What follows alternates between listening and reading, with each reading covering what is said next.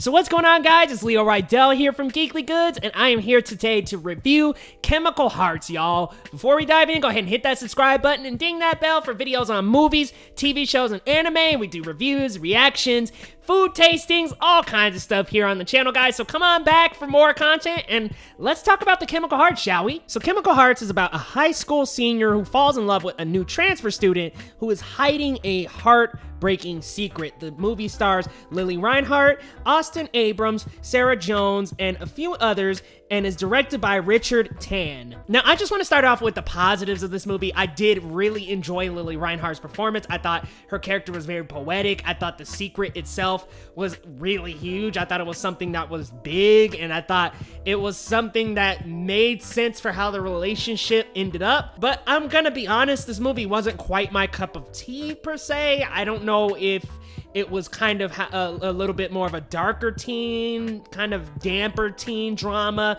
but it just wasn't really my cup of tea, unfortunately. Like, I just really didn't have too many things in the movie that I, I just absolutely enjoyed besides Reinhart.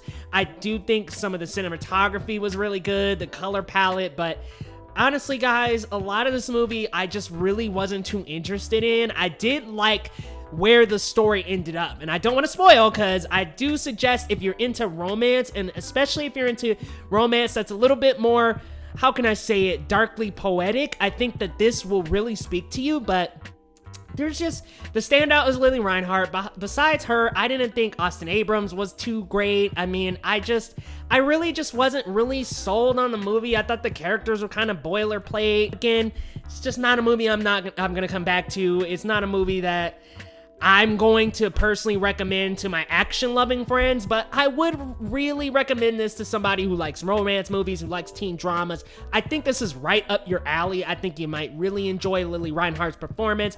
I don't watch things like Riverdale, I grew out of Degrassi. Like this, again, just not really my flavor of ice cream. But guys, you let me know. Are you checking out the Chemical Hearts this Friday? Or Chemical Hearts, I don't know why I keep saying the.